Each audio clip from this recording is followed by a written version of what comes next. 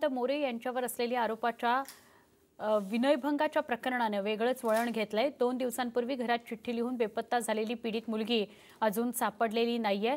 तर दुसरीकडे उद्धव ठाकरे यांच्याकडे ड्रायव्हर असलेल्या दिनकर सावळेकडून गायब असलेल्या अल्पवयीन मुलीच्या वडिलांना पनवेल कोर्टातच धमकवण्यात आल्याचा दावा पालकांनी केलाय. परवा दुपारी पनवेल कोर्टात निशिकांत मोरे यांच्या जमिनीत जामिनाची सुनावणी असताना मुलीचे वडील जवळ जात शांत रहने का? मैं उद्धव ठाकरे का ड्रायव्हर हूँ अशी दिनकर साळवे यांच्याकडून धमकी देण्यात आल्याचा दावा करण्यात आलाय.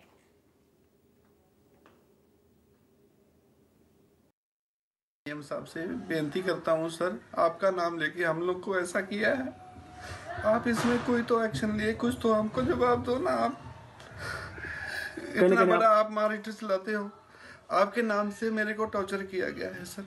कहीं ना कहीं आप अपने आप को महसूस हाँ मैं बिल्कुल इधर मेरी कोई सुरक्षा नहीं है कभी भी मेरे को कोई मार सकता है सर।